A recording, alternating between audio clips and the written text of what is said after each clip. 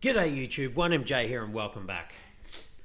Alright, what a turn of events and what a 24 hours. I mean, we were on a little bit of a dip yesterday and today the market has just dumped and we're going to have a look at the reasons why.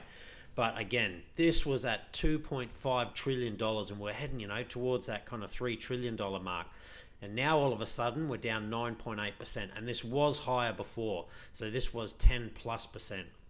And we're now down at 2.3 trillion. Now we're going to have a look at what has happened. But, you know, are things as bad as what kind of people are making out at the moment? Well, number one, we'll come back to this shortly. Fear and greed index. I mean, we are way up in the 60s and 70s. 68 yesterday, 65 last week, and 74 last month. So people were just too super greedy at the moment. And when it gets that high, you just know a dump is coming at some stage. How big it's going to be and how long it's going to last, that is the million dollar question. But now we're down at 31 and everyone's fearful. I never offer financial advice, but I know what I do on days like this. I'm buying the dip. Now, unfortunately, you know, I could have timed it better. I was buying yesterday. But it is what it is. I could have bought today and possibly got cheaper, but again, I'll buy, I'll be buying tomorrow, and I'll be buying that dip if it stays down here. Now, what has caused all this turmoil? Right, so the turmoil was caused by Elon. He's put out a tweet and he said Tesla is no longer, or at least suspended for the moment, uh, its support for Bitcoin payments. So you can't go and buy a Tesla using Bitcoin anymore. They didn't sell any Bitcoin or anything. They're still holding. They're just not accepting Bitcoin. And his reasoning was that it was due to the amount of fossil fuels uh, that are used to mine Bitcoin. The problem is Bitcoin is actually leading the way in going green.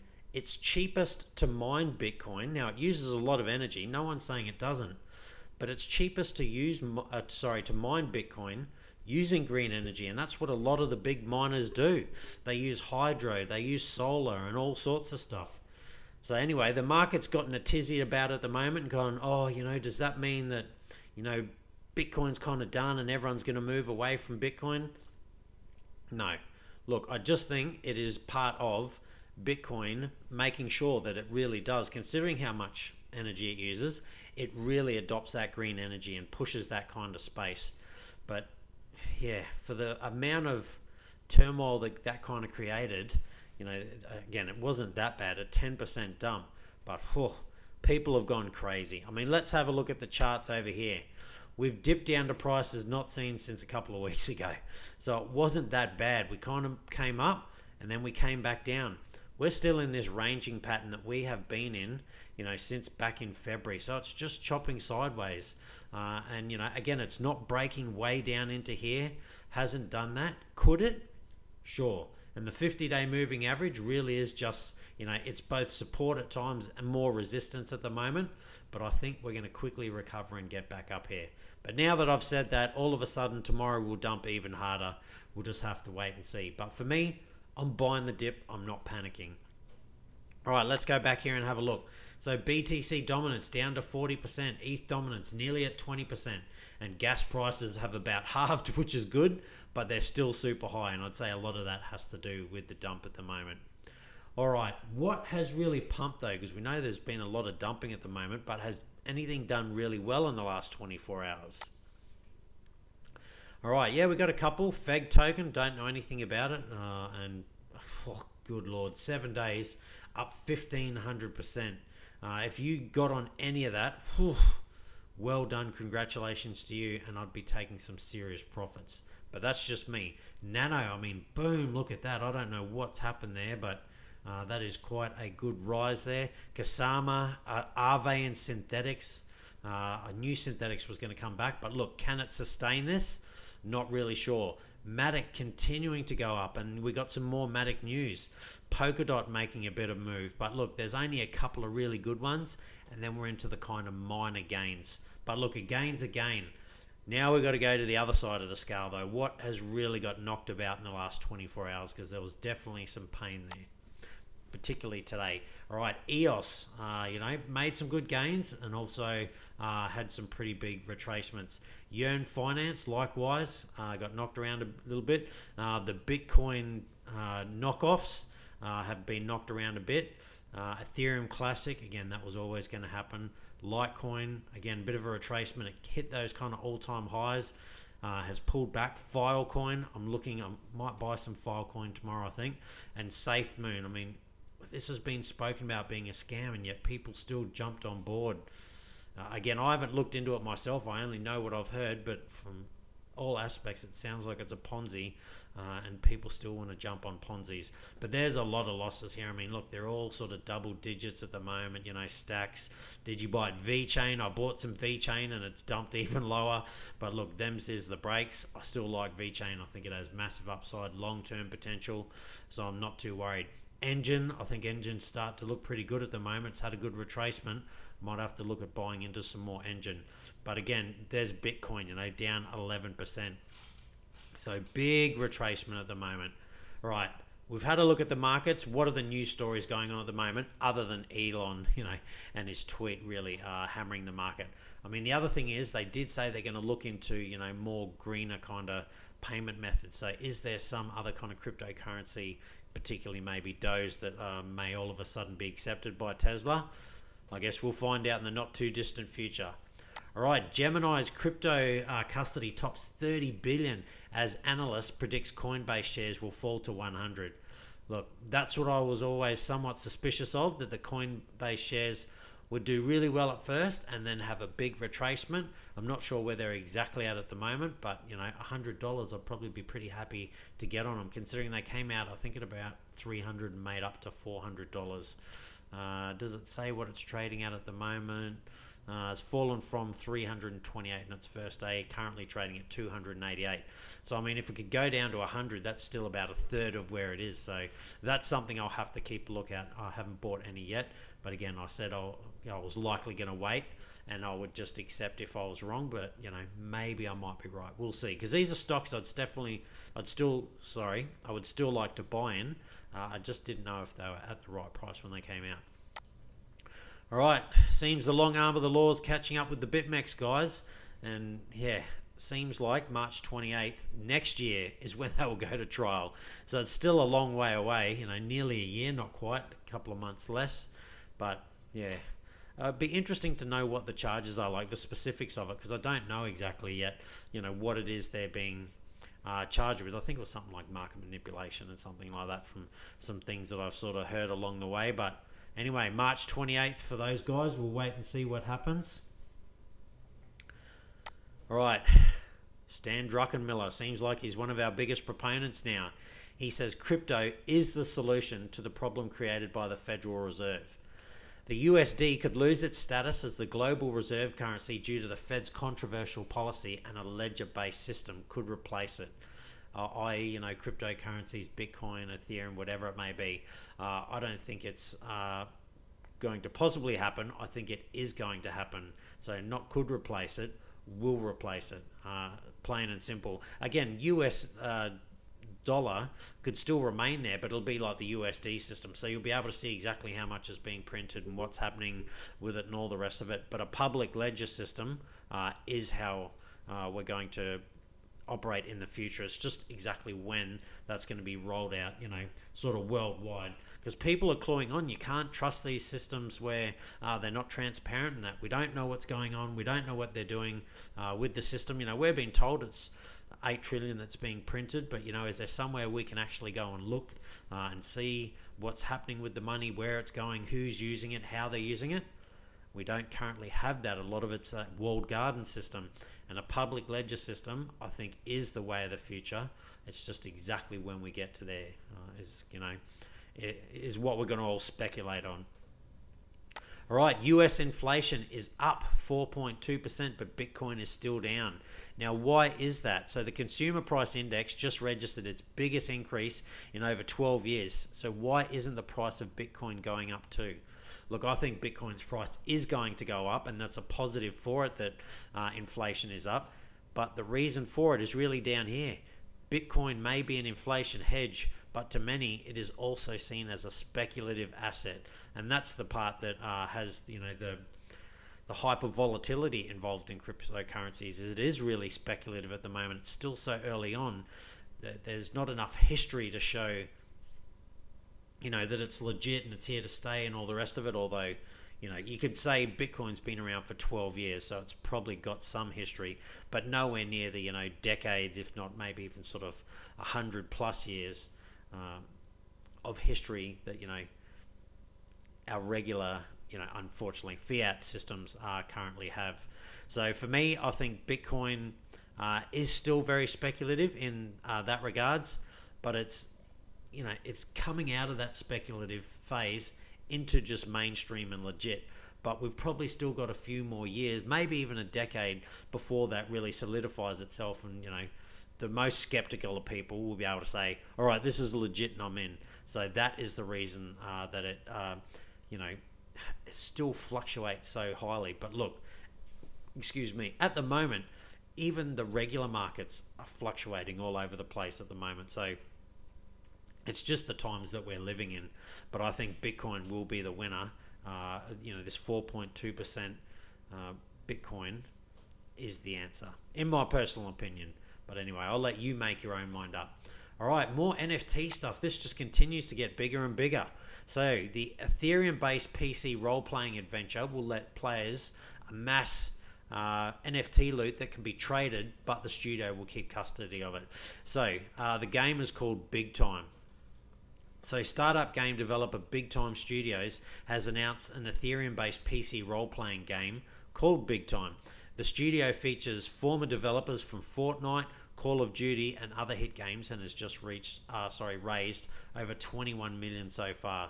So again, th- this is where I see the NFT space kind of being really big. Not so much, you know, these random, you know, sort of card, you know, like Jake Paul and you know Floyd Mayweather uh, NFTs and all of that. I'm not saying none of them will ever be worth anything in the future, but most of that is just sort of other than that, you know, a sentimental thing. They don't have a lot of sort of value outside of that.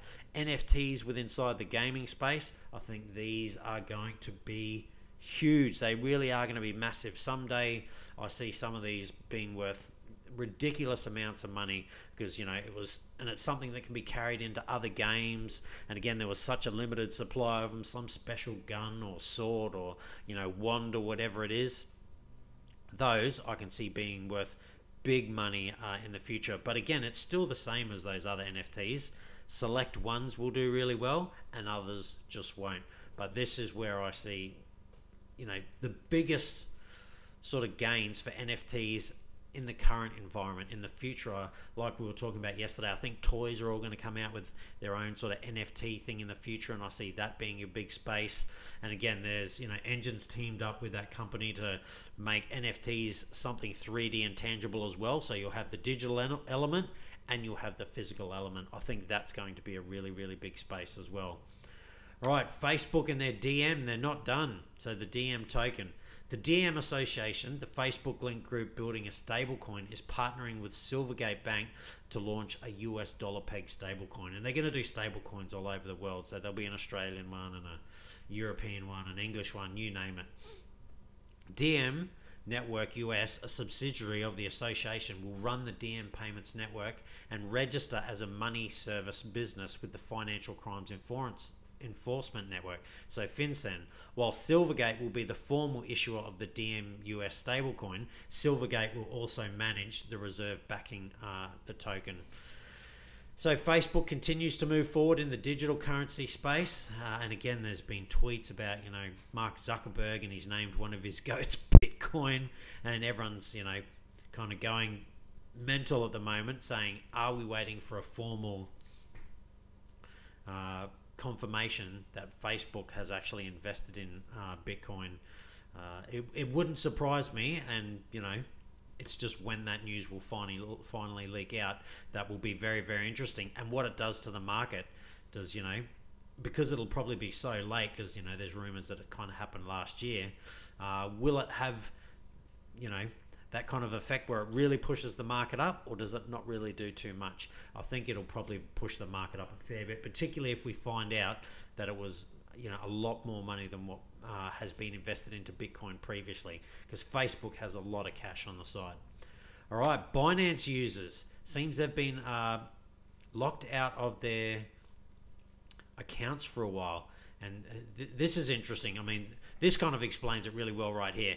Binance Global Exchange halted withdrawals on Monday in a temporary suspension that affects all of its users, as did other exchanges, sorry, like Coinbase. And they do this regularly when there's a big fluctuation, you know, of either, you know, Bitcoin going to the upside or to the downside. They halt everything and it's, uh, you, you know, stops things from getting too crazy and, you know, we kind of don't want that in a free market, but I guess in some uh, regards we kind of do you know, not so much to the upside. If it's going to go, you know, super parabolic, people really want that. But the problem is, at some point, that parabolic move ends, and then you just have a massive dump after it. So, yeah, I'm in two minds about how I feel about that. You know, that they, you know, have those kind of circuit breakers. It is good for the general person to not see too much upside followed by a whole lot of downside. But again, a free market, I guess, should kind of be a free market. So I'm not sure how I feel about it. Uh, again, I'm sort of 50% one side and 50% the other of I like it and then I don't like it. Now, it's not uncommon for exchanges to have downtime or freeze withdrawals at times of hot market activity, but since at least late 2020, Binance users from the US and around the globe and the globe have had their accounts frozen for unconventional reasons. So it'll be interesting to see what happens with this and you know what Binance's uh, reasons are for you know this happening. Most of the time, they come out and say it was just a technical glitch, and due to a lot of people uh, joining you know the platform, that's uh, what the issue is. And look, that happened back in 2017 as well. All right, MoneyGram. So MoneyGram International said Wednesday it will allow customers to buy and sell Bitcoin for cash uh, at 12,000 US retail locations through a partnership with CoinMe. So even MoneyGram's getting on board. I mean, there was talk about MoneyGram using XRP and all the rest of it. Uh, then that kind of fell through. So now uh, it's come to Bitcoin. The cash transfer, the cash, the cash transfer company plans to introduce Bitcoin trades in 20,000 stores across 32 states by quarter three of this year. So we're already in quarter two. His crypto firm already ha, uh, uh already facilitates. God, I'm struggling. His crypto firm already facilitates cash for Bitcoin swaps at around 6,000 supermarkets and kiosks. But here's the kicker. MoneyGram and CoinMe will make 4% of customers' transactions plus $2.75 in fees. Now, Walmart based MoneyGram locations will charge $2 more, so you're going to pay a premium for it. So for me, that's why I wouldn't do it. But look, some people will be happy with it and just won't care or be unaware of it. For me, Bitcoin is a store of value. I don't use it uh, to transact daily. All right, here's the big news about Polygon. So, decentralized exchange aggregator Slingshot has chosen to launch to the public on Polygon, a, a blockchain that runs, uh, what is that? T- uh, I don't even know how to say that word to the main net, uh, to the Ethereum network and one that's a lot faster and cheaper to use. So, you know, Polygon they just so many people are going there at the moment, and I really think the upside for Polygon. Uh, is massive, uh, and that is shown in the price. You know, when we're going over, you know, to the big movers, Polygon still going up, dollar sixteen. Like, you know, it was worth two cents. I mean, it was worth less than two cents. I was lucky enough to get it around sort of two and three cents. Uh, I haven't bought any since. I, I probably should. Uh, but it's just done so well. And again, I wish I had put so much more into Polygon. You know, I've basically 50x my money uh, on Polygon, and that is nothing to kind of yeah throw shade at. I, I, re- I again, it changes because the market's constantly changing but I think Polygon is now my best performer uh, by a, near country mile. I don't think anything comes close to it. But I got some Synthetix network quite cheap as well, so I know that's up there. And likewise, I got Aave quite cheap as well. But again, these were I didn't you know hindsight. I wish I could have had of.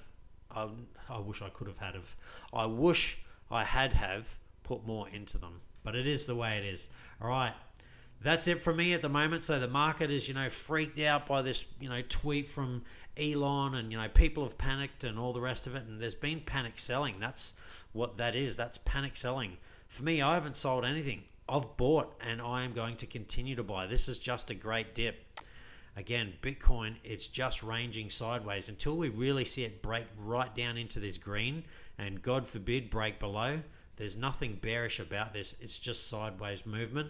Uh, and I think that's likely to continue before eventually we're just going to break to the upside. It's just when that's going to happen. But Bitcoin, you know, traditionally in bull markets, you know, when it travels sideways, again, we had some sideways, you know, there's a bit of a fake out, still kind of traveling sideways before we got to about sort of here. And then that's what we did. We made this big, massive move from here all the way. And again, look, this move was done back at ten thousand dollars. It was ranging around eight thousand to sort of ten thousand, broke up above to twelve thousand before it came back down, and then just went on this rocket. I think that's exactly what's going to happen now. All right, this has been a long video, so I won't take up any more of your time. Stay safe, be kind to one another. Pretty hard to be on that gain train at the moment, but for me, I haven't panicked. Love to know your thoughts down below. Did you panic sell or did you buy? All right, I'll see you next time.